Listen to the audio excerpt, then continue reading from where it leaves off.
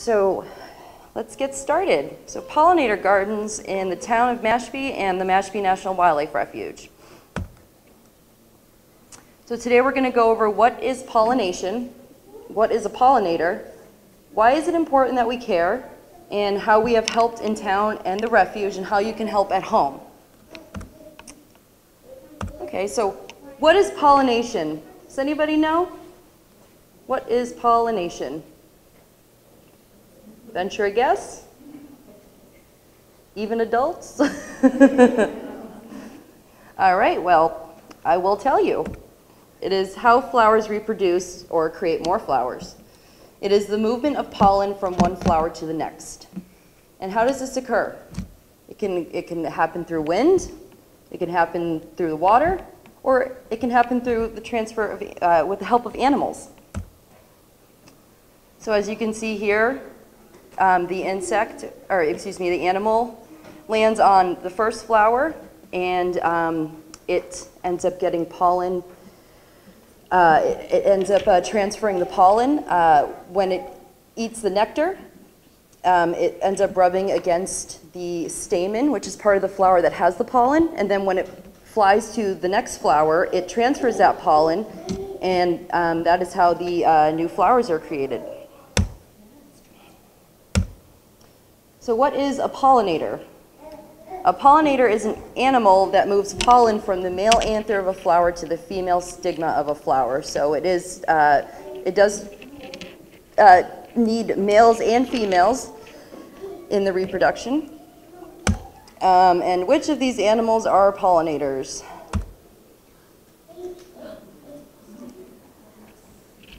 So uh, does anybody think there, any of these animals aren't pollinators? Or do you want to answer, hon? Which, one, which ones of these are pollinators? A bee. Very good. We got a bee up there. Any other types of pollinators that we know of? Yes, very good. Very good. Any other ones that we know of? Bat, yes, very good. Very good. And any other guesses? Okay, great. Well, you, you were just about there with them all. These, these actually all are pollinators here.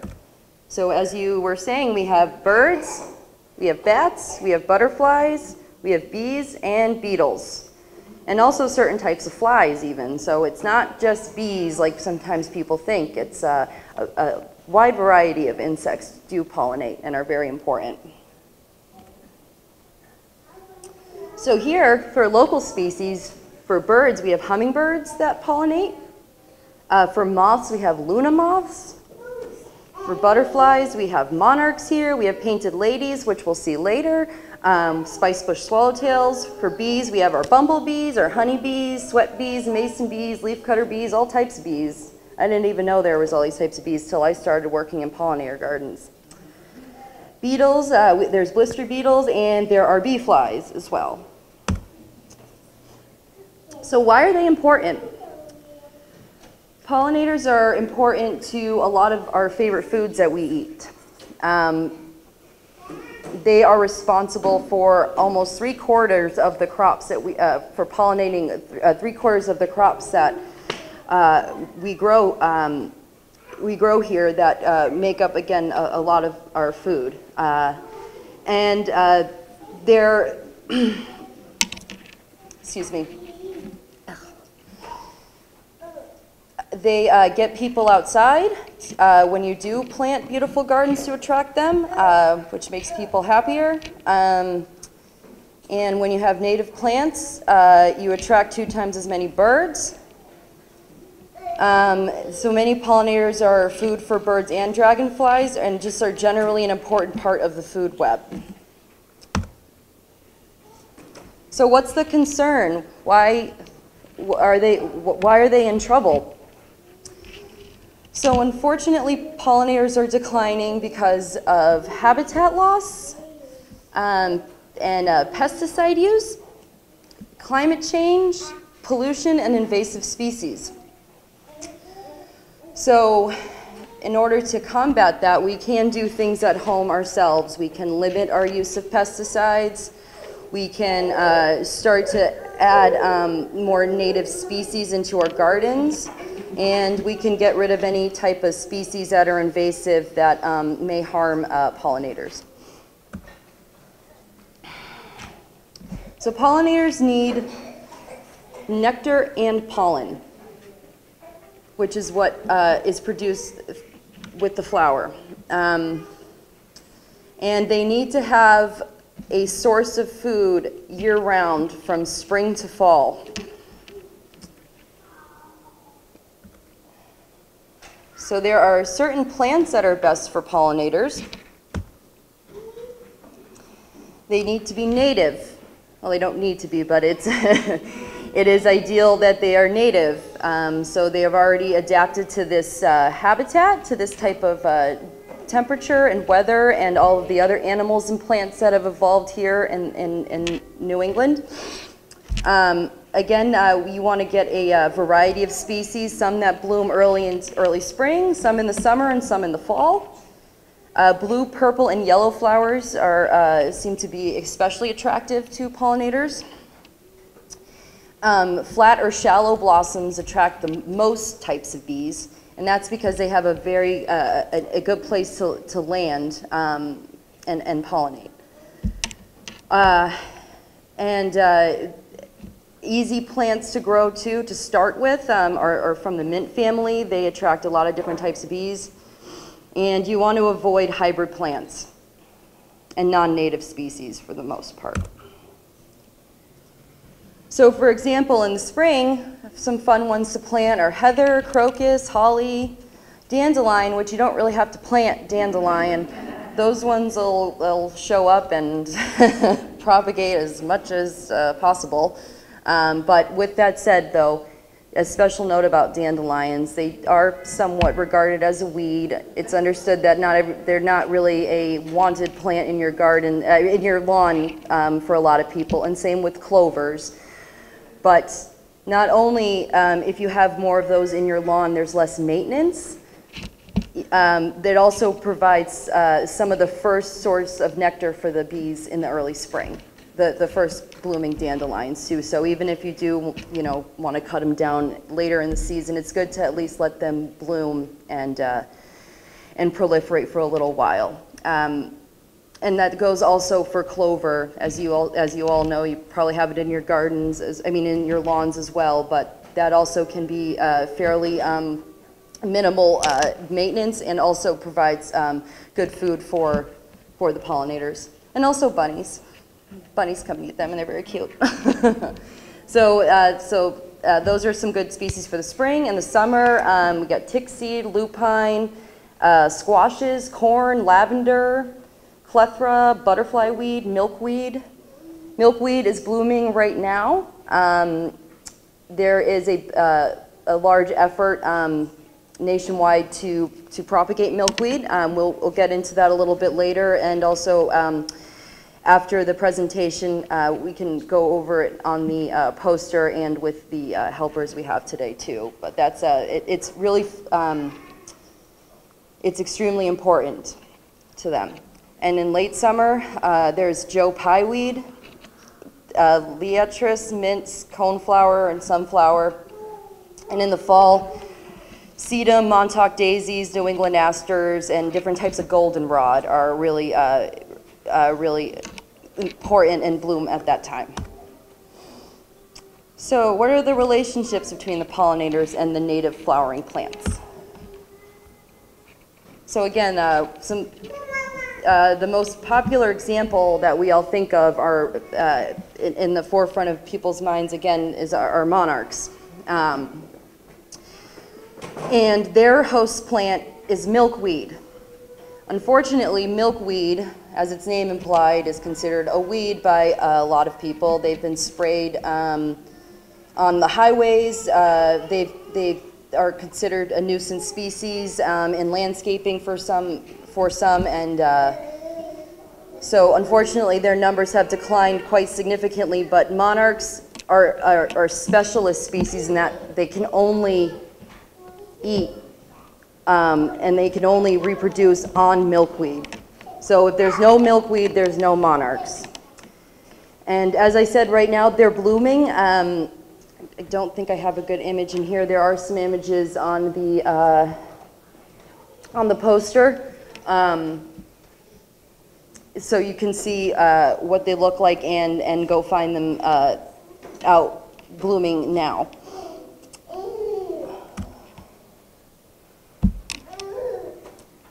So they do require, um, so again, just to continue with the monarch example, they do require um, milkweed uh, for the duration of their migration, um, where they go all the way from Canada to Mexico. And another example of a pollinator and its host plant are painted ladies, which we have here today. Um, those are the butterflies that we will be releasing.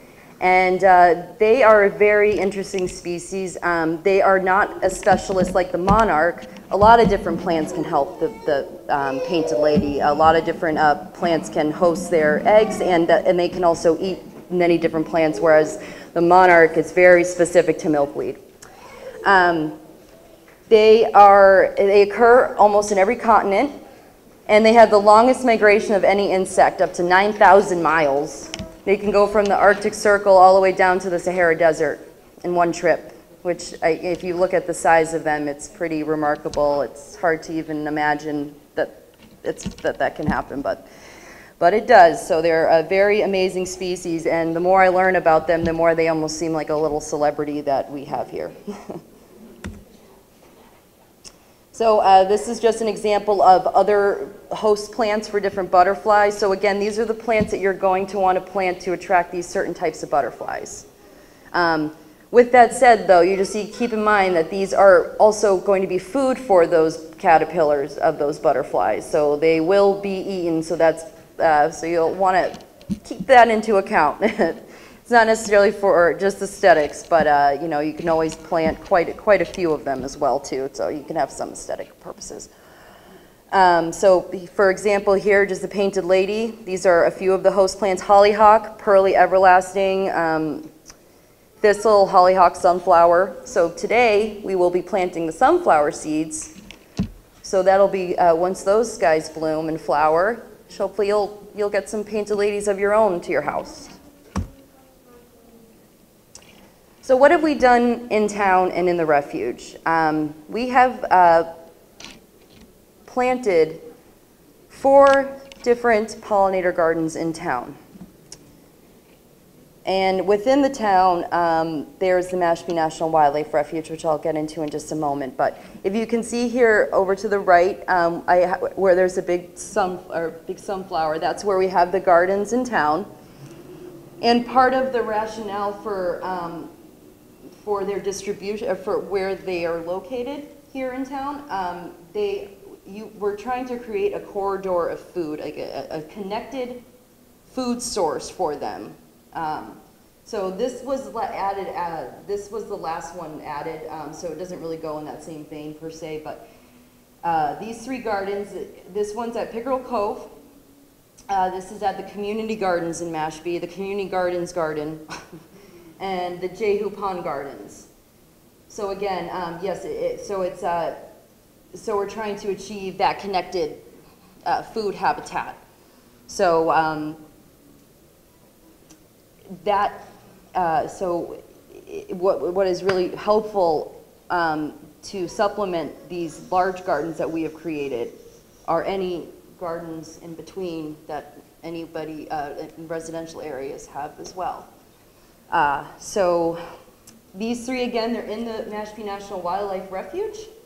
And um, a lot of the funding for that work has uh, come from the U.S. Fish and Wildlife Service, um, which uh, is um, the how the Mashpee National Wildlife Refuge, um, oh, excuse me, um, I'm sorry, I, I, lost my train of thought. I'll just, the Mashpee National Wildlife Refuge was created in 1995, um, and it's located in the towns of Mashpee and Falmouth. Uh, a lot of people don't know we have a National Wildlife Refuge here um, in Mashpee, so I always, uh, you know, it's definitely something that um, I like to make people aware of. And again, a lot of the the funding and a lot of the help did come from the um, U.S. Fish and Wildlife Service too, for, for the creation of these gardens. Um, so that's just a little background on the, on the refuge. Uh, so uh, we'll just go into the three garden, the four gardens that we have. So um, these were created all in 20, in 2013 with the Friends of the Mashpee National Wildlife Refuge, AmeriCorps Cape Cod, the town of Mashpee, and um, Talbot's Ecological Land Care. So uh, these are just a few pictures of how these gardens were created. They were, uh, they were chosen um, specifically for uh, certain um, characteristics. Um, but this one is the, the northernmost, if you will, of the, of the, pol of the pollinator gardens. And uh, just a couple uh, example species here that, uh, uh some images I took from that garden is a, are, are a bee fly, which is on the aster on the right there. And those are kind of fun in that they mimic a, a bee, but they're a fly. But they still do pollinate. Um, and uh, they're just a very, very cool looking insect. And then um, there's, of course, our bumblebee friend down on a, a, a mint in the middle there. and uh, this is the southernmost garden here is the Jehu Pond Garden. So these are just some pictures of, uh, of the creation of the garden and the installation of the guardrail and the, and the signs. Um, and these are another uh, more close-up images of some of the uh, flowers we have there and the um, insects, the pollinators, excuse me. We also have the gardens here at the Mashpee Community Gardens. And these are just a couple pictures from there. And uh, there's our star in the middle there is a painted lady. Um, I remember coming across quite a few, especially later in the summer, early fall. Um, they seem to really love these asters. and those are just a few more images of the uh, garden there. And then the last garden that we put up a couple, which is not in the ref, is not in the boundaries of the refuge, but uh, the last garden that we put up is at Santuit Pond Preserve off of Route 130.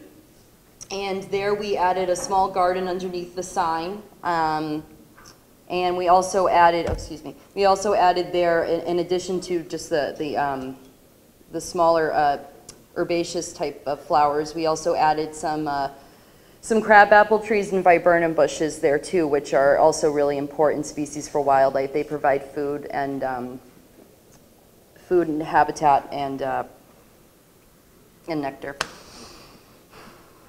Um, so uh, a couple uh, items that we also have in these gardens um, that uh, help the pollinators are uh, habitat supplements, which uh, take the form of these pollinator boxes, um, where uh, they uh, mimic the habitat for uh, mason and leafcutter bees.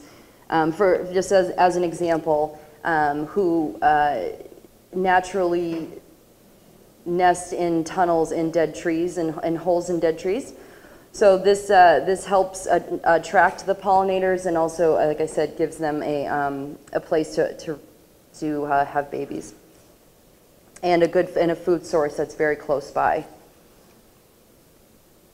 So they're not, the, the point of the gardens isn't just for the food, it also does provide them habitat and a place to reproduce.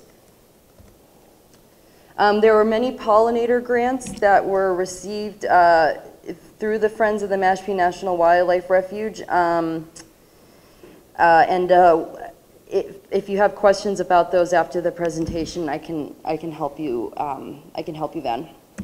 Um, and here's the, the, real question today is how can you help?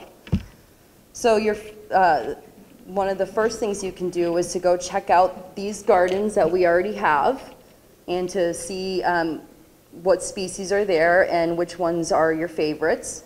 Um, they are all helpful, and again, they're all uh, planted very deliberately to have those species that bloom early spring into the summer and, and, and the fall. So if you go at different times a year too, you can see firsthand how the species change over time, but how important it is to always have something blooming. Um, so uh, again, you can start small. Every little bit helps. Even just getting some milkweed seeds on online. Uh, they there are a few places that you can um, get those, and I think they're even for free. Um, you want again, you want to get the a variety. You want to get the different color blooms uh, that we mentioned. Um, of course, nectar producing, native, and as I said, bloom all season.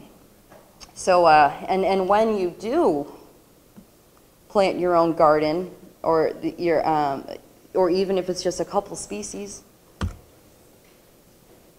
It'd be helpful to uh, register at the Million Pollinator Gardens um, the Million Pollinator Garden Challenge, uh, where anyone can help. Um, so it, the ultimate goal is to have a million pollinator gardens register nationwide. Um, so uh, I think they're approaching a million, but of course, every bit helps. And these are just a few sources. Uh, these are just a few um, places that you can uh, order seeds and um, and find out different butterfly and host plants and uh, different places to collect seeds. And this is also another uh, uh, examples of a, of a resource, of pollinator resources, butterfly gardening. I actually have these, the attractive, attracting native pollinator books over there if anyone's interested in looking. Um, the Pollinator Conservation Handbook by the Xerces Society is also very helpful too. So just to sum up, um, you know, create a garden for monarchs and native pollinators, spread the word, and thank you for coming. And thank you to the friends of the Mashpee National Wildlife Refuge, the Mashpee Public Library, AmeriCorps Cape Cod, Talbot's Ecological Design, and Mahoney's, and, and, uh, and many others. Um, but uh, I think it's almost time to go enjoy some crafts. So thank you very much for, for coming. Now, these butterflies can live their entire life cycle inside the library. However, they will not reproduce when they're in captivity. So we need to set them free so that they can go around the bushes that are attracted that they're attracted to and lay some eggs for the next generation of painted ladies. Okay? All right, so everybody's got their popsicle. We're good? We go. Are we ready to let them go? Are you ready to see them fly? All right. Okay, okay, Mr. Boots. Anybody want to do a picture? I do. Uh, Here we go, guys.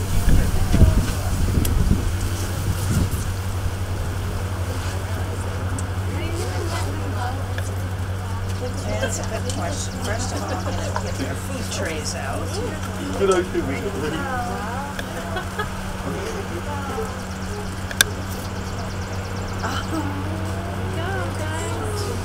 Oh, look at them, they're getting excited. Should we wish them good luck? Good Yeah. luck, ladies. Okay, Mr. Biggs.